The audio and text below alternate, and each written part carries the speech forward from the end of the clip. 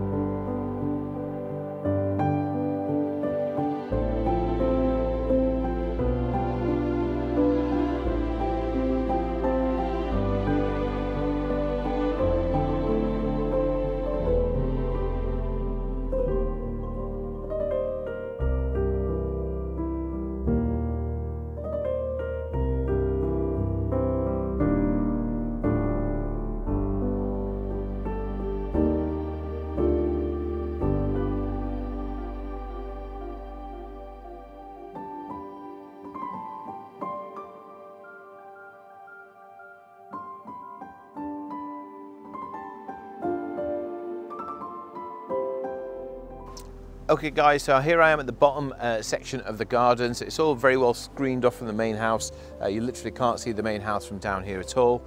Uh, this is a half an acre of absolutely massive development opportunity. Uh, you could build ample houses here, holiday lets, or a bit of mixture of both. Uh, the road access is right there.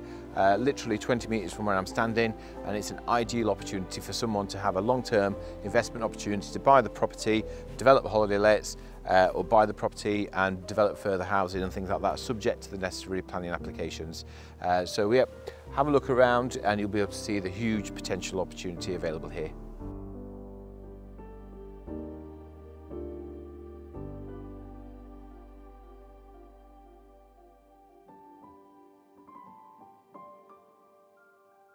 Okay guys, so yeah, so this section of the house is a detached coach house, uh, converted uh, later in life into a double garage. It was actually listed in the deed dating back to 1947 as a flat. Uh, it currently can be converted into a flat on the top level anyway with quite minimal ease, uh, so there'd be no uh, need for any sort of change of use or anything like that. But make an ideal holiday let with an income uh, immediately as soon as the sort of prospective purchaser moved in.